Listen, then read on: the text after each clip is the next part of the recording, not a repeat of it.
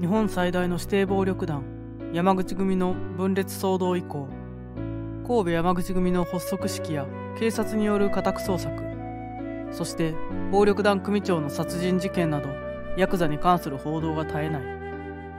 こうした背景も相まって抗争の可能性もあることから何かと注目が集まっているヤクザだが彼らの後ろには極道の世界で生きる女性が数多く存在する。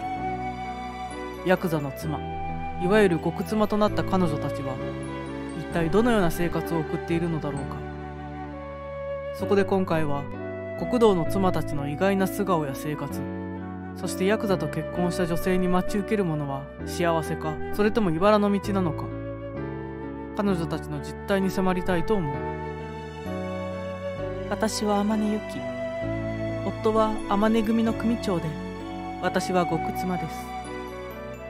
極妻というと豪華な着物に身を包み華やかな生活を送っていると思われがちですが実際はとても地味なもので派手な生活とは程遠いものです。そんな私がヤクザである夫と出会ったきっかけはスナックのママとして働いていた時のことでした。お客様困ります。ここはスナックです。それ以上のお触りはやめていただけませんか？女の子も困っていますし。あ？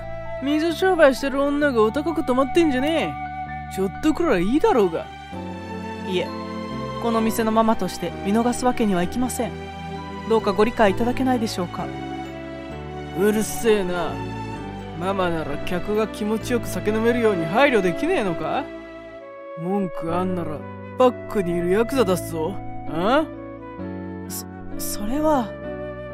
おいおい酒くらい静かに飲ませろよ。うまい酒もまずくなるだろうが。大体男だったらもっとスマートに酒飲めねえのか。はっきり言ってみっともないぞ。なんだてめえ。部外者が口を出してくんじゃ。ってお前は天音組の竜ち仕方ねえな。ありがとうございます。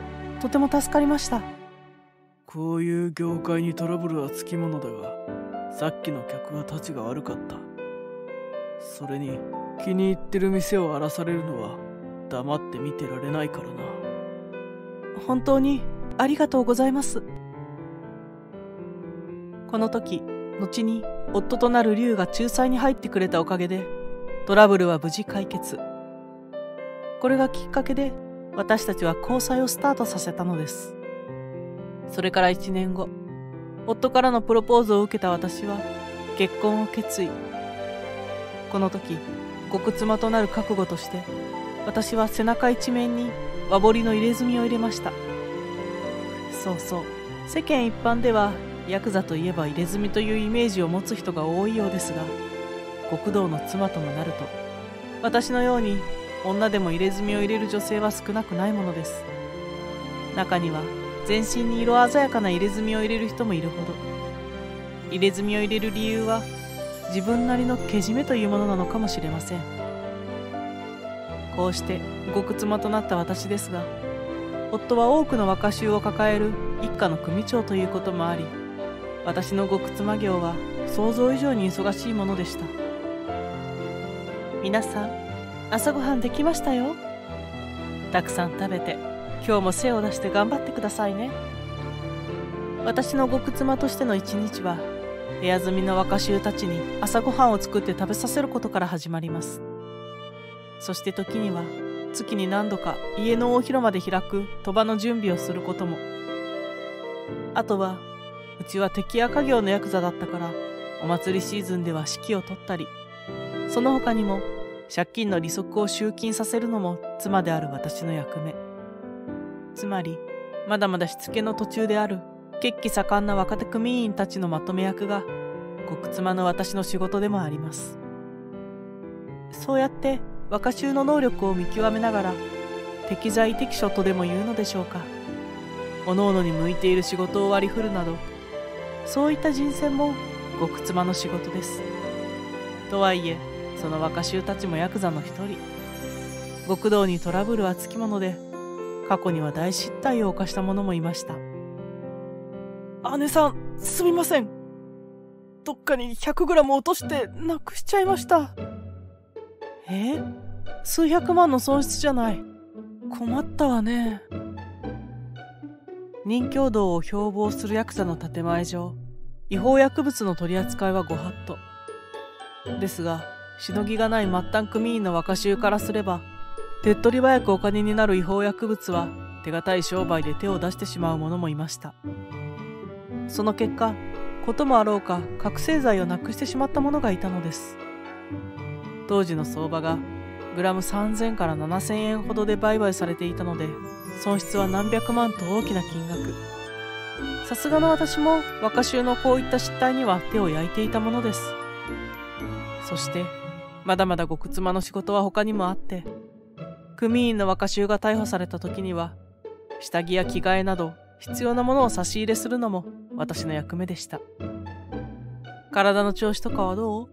何か変わったことはない？はい、特に変わりはありません。そう。それならよかったわ。これ、必要なものを持ってきたから。足りないものがあったら遠慮なく言ってね。いつもすいません。何言ってるのよ。組ごとで捕まったんだから、これくらい当然のこと。負い目を感じることはないわ。組ごとで捕まった者の場合、その人は大門を背負い組織のために体をかけたことになります。当然それに見合った良いものを差し入れ、視線弁護士もきちんとつけます。ですが、自分ごとで逮捕された者には対応は一変。自己責任なので安い差し入れしか持っていきません。つまり、逮捕容疑に違いがなくても、自分ごとと組ごとでは対応に天と地の差があるのです。あとは、警察関係が日常茶飯事で、自宅にガサ入れがあった時には、まずどんな容疑で誰の名前なのかを確認していましたご苦労様ですお茶を入れましたのでどうぞお召し上がりください同じ警察でも丸棒は礼儀がちゃんとしていましたが保安はいたけだかそれでも家に警察が来たらお茶を出してもてなすのが普通ですそして時には若衆の相談を受ける時がありますがそういった場合は1対1でお酒を飲みながら話したりもします。ちなみに若衆といっても、20から60代までバラバラで、全員立派な大人ですが、夫が子供と言っている以上、私にとっても子供同然なのです。意外とやることが多い極妻業で、周りはどう思っているのかわかりませんが、私はこうした仕事に誇りを持っていますし、大変だと感じたことは一度もありません。ですが、そんな私でも大きな悩みの種が一つだけあります。こら、そんな言葉を外で使ってはダメよ。周りから何て言われるか。私も母親になり、小学生の一人息子がいます。最近その息子が、弾いてまうぞ、など、ヤクザ言葉をしょっちゅう口にするようになりました。その他にも、夫が警察に逮捕され、面会に連れて行って以降、街中に格子があると、すぐに格子越しに顔を出して、ママ、面会に来て、と真似をします。学校や外でそんなことをされてはまずいと、毎日ヒヤヒヤしてしまいます。私は子供に迷惑をかけることがないよう、普段から地味な格好をし、高い服やアクセサリーは棚にしまったまま。極妻丸出しの生活は不自由なことも多くなるだけじゃなく、子供の将来を潰しかねません。そんな私は世間様に申し訳ないという気持ちで、今日も道の隅っこを歩くことで精一杯です。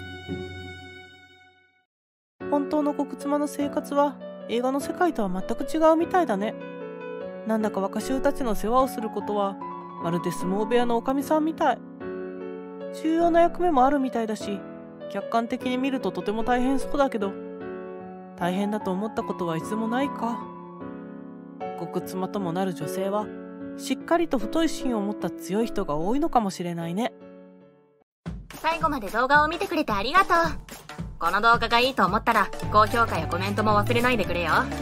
次の動画は何だろう？それはまたのお楽しみ。